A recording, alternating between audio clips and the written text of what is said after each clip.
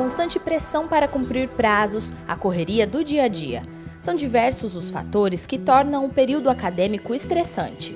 Uma das formas de minimizar este desgaste emocional é tratar a saúde mental com sua devida importância. Existe uma preocupação né, com os estudantes, são uma, uma população que tem um sofrimento particular, assim, né, um, uma rotina que é, é, bem desgastante, uma dificuldade com um excesso de cobrança, com um tempo que é apertado, inclusive que acaba dificultando uh, poder se cuidar, né, ter, é, encontrar ali um espaço para se dedicar e um tempo para se dedicar ao cuidado pessoal. Né. No primeiro semestre de 2019, o plantão psicológico realizou 196 atendimentos na cidade universitária universitária. A partir de agora, os acadêmicos terão mais dois novos grupos de apoio psicológico, uma maneira de promover a reflexão sobre a vida cotidiana e seus desafios. Um é um grupo psicoterapêutico no, que utiliza bastante a fala para poder ah, lidar com algumas questões. Né? Ah, todo mundo ah, tem algo a oferecer e também algo a receber. Então a ideia é poder compartilhar experiências e encontrando assim, a reconhecer um sentimento de de construção da vida, de construção do, de, de, como que a pessoa vai se tornando uma pessoa, com as suas características particulares, um sentimento também de que está todo mundo no mesmo barco, né? então é uma ideia de reunir as pessoas com a, a ajuda, né, com a mediação de um, de um psicólogo, para poder dividir e elaborar experiências, e isso tem um, um grande valor terapêutico. Né?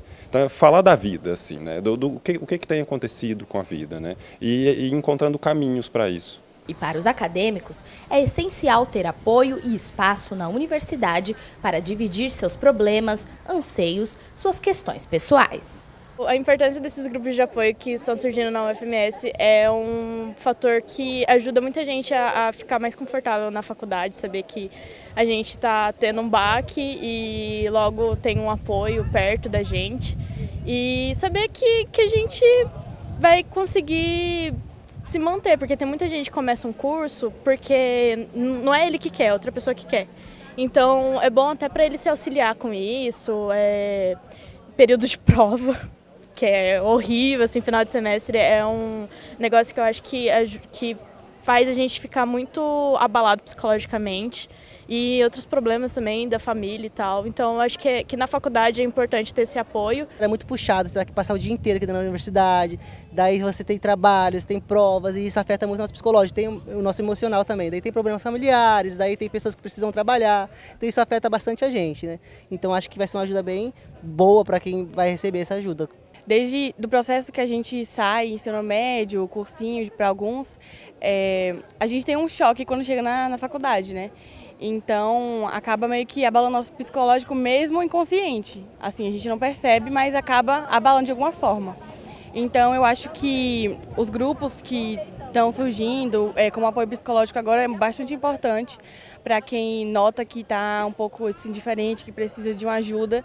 E vindo da faculdade é um, um ambiente mais assim acolhedor, né, de tipo aluno para aluno. Muita parte do, do sofrimento, assim, né, é, acontece quando a gente não consegue uh, ter consciência ou se apropriar de, de, algumas situações que fazem parte da nossa vida diretamente, né? É, grosso modo, assim, né? Uh, acho que não resume todo o fenômeno, mas isso está tá muito presente. Então, ganha relevância o cuidado, porque o cuidado é uh, esse movimento de se aproximar de si, assim, né? de, de poder se dar conta. O que, que é que me acontece? Sendo que muitas vezes, às vezes eu nem percebo, eu só sinto aquele mal-estar.